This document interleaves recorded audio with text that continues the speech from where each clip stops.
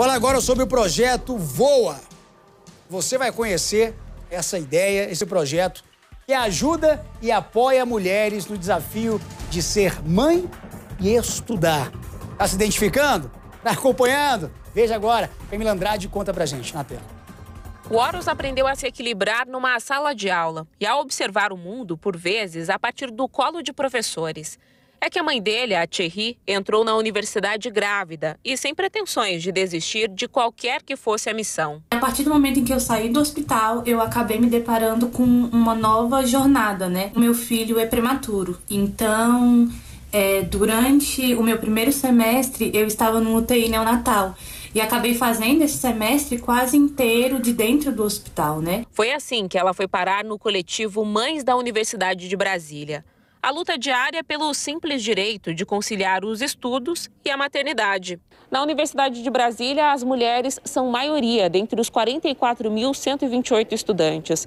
E apesar de não haver um levantamento específico sobre quantas delas são gestantes ou mães, já há algumas políticas voltadas a elas, como, por exemplo, o auxílio creche e a possibilidade, antes restrita, de que estudantes gestantes residam na casa do estudante universitário, a CEL.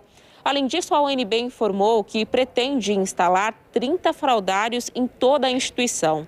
21 deles só aqui no campus Darcy Ribeiro, que fica na asa norte de Brasília. Temos também uma dilatação do prazo para as estudantes da pós-graduação para que elas terminem as suas teses e as suas dissertações. E no momento, aqui no campus Darcy Ribeiro, está em construção uma creche. Mas a Kelly acha que não é preciso esperar.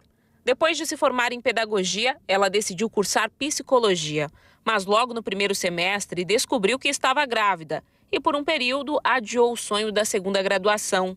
Mas, por saber que essa história poderia ter sido diferente, ela e uma amiga decidiram criar o Projeto Voa. O objetivo é que a gente criasse um espaço onde essas crianças fossem cuidadas por estudantes aqui mesmo da universidade, de diversos cursos, e que nesse cuidado incluísse também o brincar, cuidados com a alimentação, com a segurança e, e outras tantas coisas que fazem parte desse desenvolvimento da criança. É muito positivo quando as mães podem ter uma boa rede de apoio familiar, mas também uma rede de apoio institucional, em que ela possa contar com as instituições de ensino para criar ambientes favoráveis para a frequência das mães com as suas crianças no espaço acadêmico, criando lugares em que elas possam deixar as suas crianças de uma forma segura e confortável, é, trazendo um ambiente educacional em que as crianças podem ser bem-vindas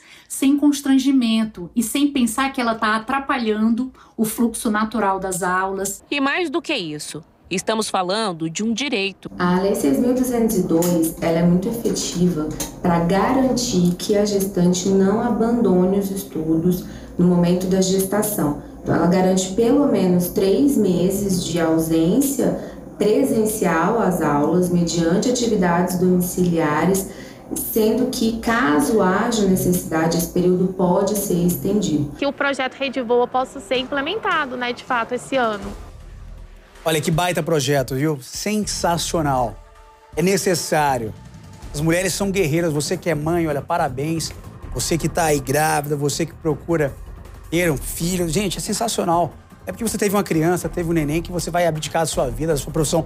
Tem ali no momento uma adaptação? Tem. Vai continuar estudando, vai continuar trabalhando depois.